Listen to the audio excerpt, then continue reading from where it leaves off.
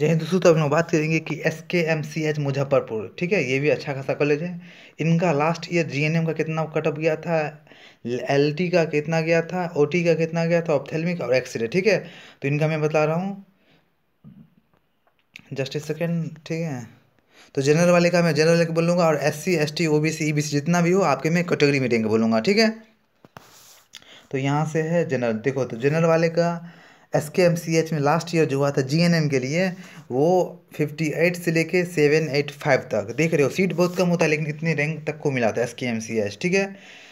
कितने रैंक तक को मिला था? अंठावन से लेके सात सौ पचासी रैंक तक को, ओके?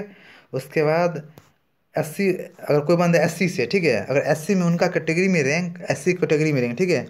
गौर से सुन लो जनरल के अलावा मैं कोई भी अगर कैटेगरी में बोलूँगा ना S C S T E B C O B C तो आपके अपने कैटेगरी का रैंक में बोल रहा हूँ, ठीक है? तो अगर कोई बंदा एस टी से था, ठीक है? एस टी से अगर लास्ट ईयर उनका बावन, है ना? बावन बोल रहा हूँ, उनका बयालीस रेंग यहाँ देखो बयालीस, ये रहा, है ना? एस टी ये बयालीस है? ये है ना, ये वाला बयालीस। तो लास्ट ईयर अगर कोई एस टी का लड़का था, लड़का तो नहीं होगा, लड़की होगी, बयालीस रैंक वाले को मिला था ओके उसी तरह एस सी का कटअप कितना गया था? अंठानवे से लेकर दो सौ इकतालीस तक। देखो कितना ज़्यादा को भी मिला है, आप लोग बोलते हो सीट कम है ना कैसे होगा? देखो कितने रैंक वाले तो को मिला है।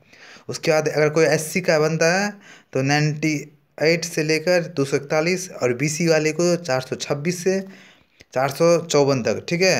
चार सौ छब्बीस से चार सौ चौवन तक को मिला था। उसके बाद ई बी सी ई बी सी वाले स्टूडेंट को दो सौ इक्यावन से तीन सौ छत्तीस तक को मिला था। उसके बाद ये आर सी जी का चार सौ इकतालीस से चार सौ पैंतालीस तक। तो आप लोग को वारी करने का नहीं ज़रूरत है कि इसमें ई डब्ल्यू एस का नहीं है, क्योंकि ई डब्ल्यू थाउज़ेंड ट्वेंटी में इम्प्लीमेंट ही हुआ था, ठीक है? तो उसके बाद जो अब होगा, इस साल तो आप देख रहे हो सीट मैट्रिक्स में कि इस साल भी ई डब्ल्यू एस को ऐड कर दिया गया, ठीक है? तो अब हम लोग बात करते हैं लैब टेक्नीशियन में। जी एन एम का हो गया, अब एल टी का देखते हैं। तो एल टी में देखो स्पीड में बोल। नौ सौ छियानवे से लेकर तेरह सौ बासठ तक जो भी स्टूडेंट का रैंक था लास्ट ईयर उन्हें मिला था। एल टी यानी कि लैब टेक्नीशियन ये जनरल वाले का, ठीक है? अब मैं एस सी का एस टी का बात करता हूँ। एस टी में जिनका रैंक इक्यावन था, उन्हें मिल गया था। एस सी में जिनका रैंक निन्यानवे से लेकर एक सौ चौरानवे तक, उन्हें मिला था।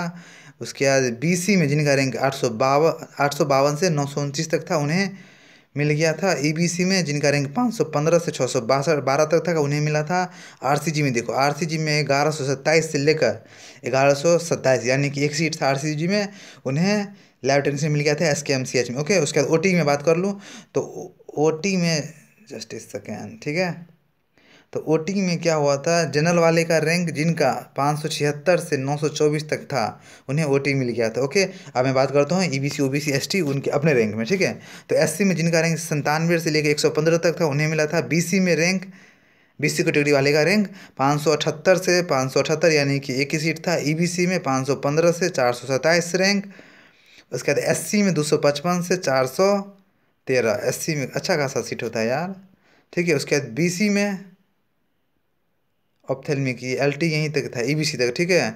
उसके बाद ये जो है ना, ये ऑप्थेलमिक यहाँ देखो, ये ना ऑप्थेलमिक में जनरल वाले का सीट है ही नहीं, ठीक है? तो ऑप्थेलमिक में दो सौ चौवन देखो ये ना दो सौ बावन, दो सौ बावन ऑप्थेलिंग वाले का है। एस सी कैटेगरी में अगर दो सौ बावन जिनका है, उन्हें ऑप्थेलिंग मिला था। बी सी वाले में नौ सौ चौवन से लेकर एक एक हज़ार चौहत्तर वाले तक को मिला था। ई बी सी में रैंक सात सौ से लेकर एक हज़ार नौ तक को मिला था। आर सी जी में तेरह सौ उनचालीस से तेरह सौ उनचालीस, ठीक है?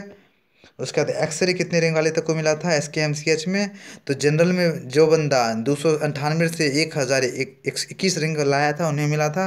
उसके बाद एस सी में एस सी कैटेगरी में बोलूँगा तो एस सी कैटेगरी में अगर आपका रैंक चार सौ सैंतालीस से चार सौ सड़सठ तक था, उन्हें मिला था।